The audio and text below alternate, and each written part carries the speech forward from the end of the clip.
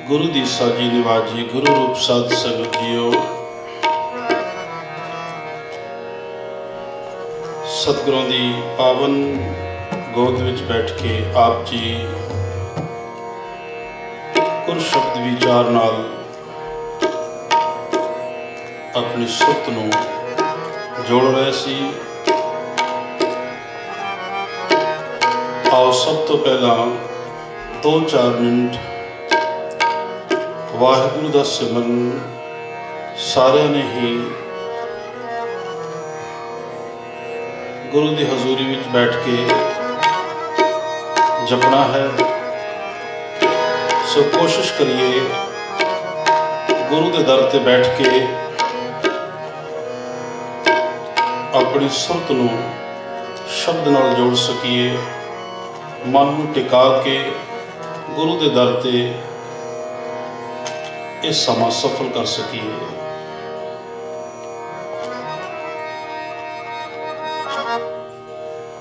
ਐਸਾ ਨਾ ਹੋਵੇ ਕਿ ਗੁਰੂ ਦੇ ਦਰ ਤੇ ਤਨ ਕਰਕੇ ਤਾਂ ਬੈਠੇ ਹੋਈਏ, ਪਰ ਮਨ ਕਰਕੇ ਕਿਧਰੇ ਹੋਰ ਹੀ ਮਨ ਹੋਰ ਉਡਾਰੀਆਂ ਮਾਰਦਾ ਫਿਰੇ। ਇਹੀ ਯਤਨ ਹਮੇਸ਼ਾ ਕਰਦੇ ਰਹਿਣਾ ਚਾਹੀਦਾ ਹੈ ਕਿ ਗੁਰੂ ਦੇ ਦਰ ਤੇ ਜਿੰਨੀ ਸਮਾਂ, ਜਿੰਨੀ ਦੇਰ ਬੈਠੀਏ, ਕੋਸ਼ਿਸ਼ ਕਰੋ, ਯਤਨ ਕਰੀਏ। ਕਿ ਉਸ ਦੇ ਨਾਮ ਦੀ ਚਰਚਾ, ਬਾਣੀ ਦੀ ਚਰਚਾ, ਕੀਰਤਨ ਦੀ ਵਿਚਾਰ, ਉਹੀ ਇਸ ਹਿਰਦੇ ਅੰਦਰ ਧਾਰਨ ਕਰੀਏ। ਆਓ ਪਿਆਰ ਨਾਲ ਸਾਰੇ ਆਪਣੀ ਰਸਾਂ ਨੂੰ ਪਵਿੱਤਰ ਕਰੀਏ ਜੀ। ਸਤਨਾਮ ਸਤਨਾਮ।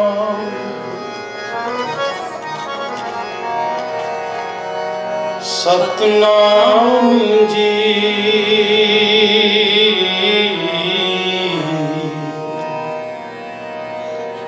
ਵਾਹਿਗੁਰੂ ਵਾਹਿਗੁਰੂ ਵਾਹਿਗੁਰੂ ਜੀ। ਵਾਹਿਗੁਰੂ ਵਾਹਿਗੁਰੂ ਵਾਹਿਗੁਰੂ ਜੀ। ਸਤਨਾਮ ਸਤਨਾਮ ਸਤਨਾਮ।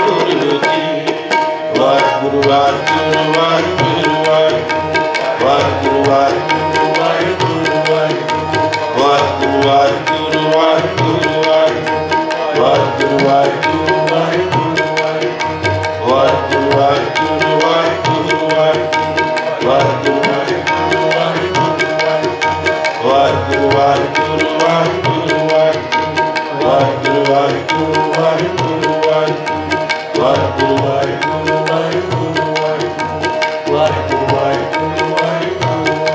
ਸਤਨਾਮ ਸਤਨਾਮ ਸਤਨਾਮ ਜੀ ਸਤਨਾਮ ਸਤਨਾਮ।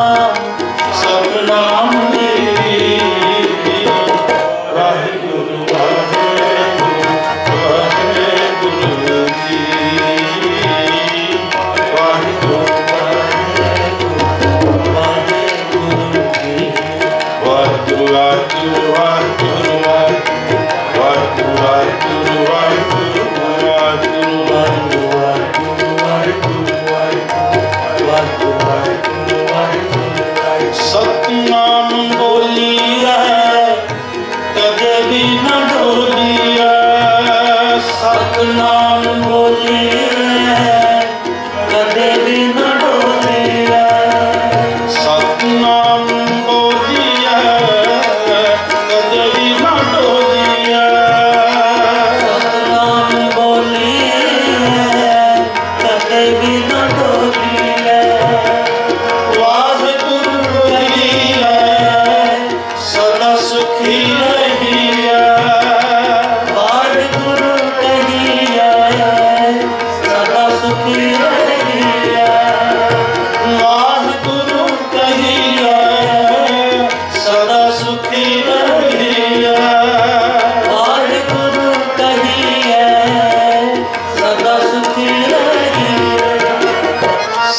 ਨਾਮ ਸਤਨਾਮ।